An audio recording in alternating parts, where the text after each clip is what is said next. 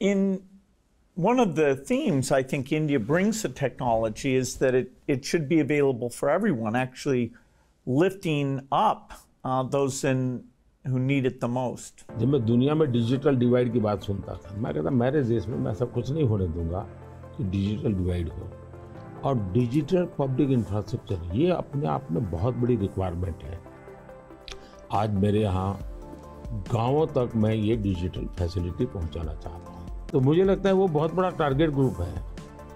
महिलाएँ तुरंत नई चीज़ों को स्वीकार करती है, ये मेरा अनुभव है मेरे देश में। उनके अनुकूल कौन सी चीज़ें मैं टेक्नोलॉजी में ले जाऊँगा?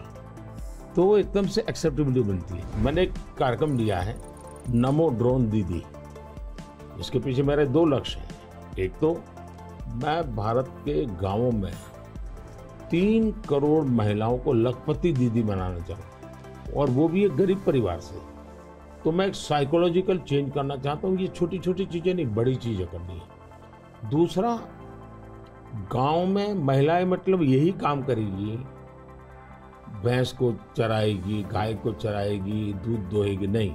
मैं उसके हाथ में टेक्नोलॉजी देना चाहता हूँ। मैं साइकोलॉजिकल चेंज लाना चाहता हूँ। गाँव के सब लोगों को लगना चाहिए कि ये हमारे गाँव को बदल रही है। एग्रीकल्चर को मैं आधुनिक बनाना वैज्ञानिक बनाना ये ज़रूरत मैं देखता हूँ। और उसी लिए मैंने ड्रोन दीदी का और बहुत सक्सेसफुल चला मैं इन ड्रोन दीदी से इन दिनों बातें करता हूँ। उनको इतनी खुशी है वो कहते हैं हमको साइकिल चलाना नहीं आता था आज हम पायलट बन गए हम ड्रोन चला रहे हैं। सोचने का तरीका बदल गया है।